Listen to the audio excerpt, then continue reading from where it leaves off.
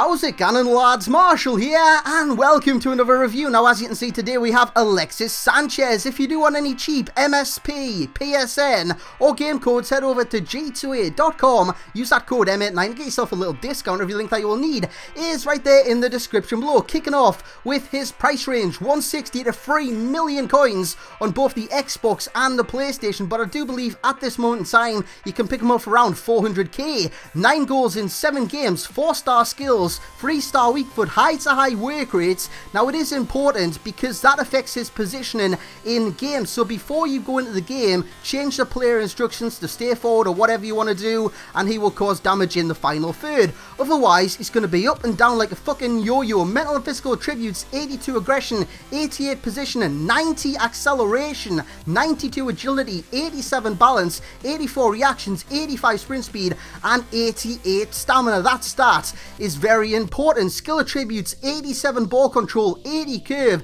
89 dribbling, 88 finishing, 82 long shots, and 84 shot power. So with this card, you can either go down the line, cross it in, do what a winger does, or you can cut inside and cause damage. I preferred the latter, so I used him in a 4-3-2-1, and in that formation, he was deadly because in those kind of zones where you see him there, the centre of the field, you can finesse it, you can power shot, you can run at your opponents, you can do what the hell you want, and Alexis Sanchez, he is very dangerous in that final third. Given the chance, he will score because his finishing's good, his shot power's good, his curve's good, his long shots are good. Everything about him in these kind of zones is very, very dangerous for your opponents because you square them up, you run at them like I'm doing in the background. I broke a few heels there and I smashed it in with that weak foot. It doesn't seem like a weak foot on this game. So looking at his pros, we have speed. He is very fast. I'm going to share you a secret. On this game, speed isn't as important, but it is important in certain situations. Flick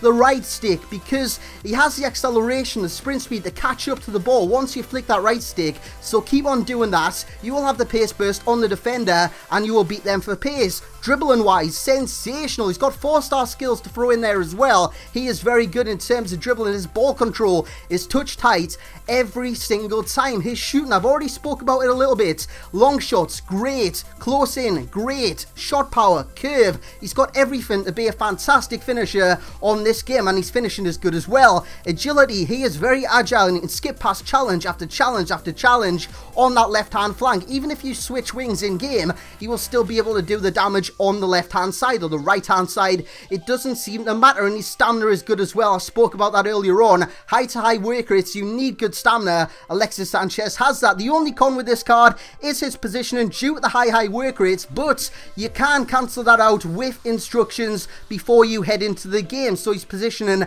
can be on point but with the high high work rates it still comes into play in game and he does track back a lot. Overall this card is a good card but I think there is more to come from him so he is getting a 9.2 and a value coins of a 7.4. Guys, that will be it for this review. I hope you have enjoyed. If you have, smashed the hell out of that thumbs up button. Subscribe if you are new. And as always, I will catch you all next time.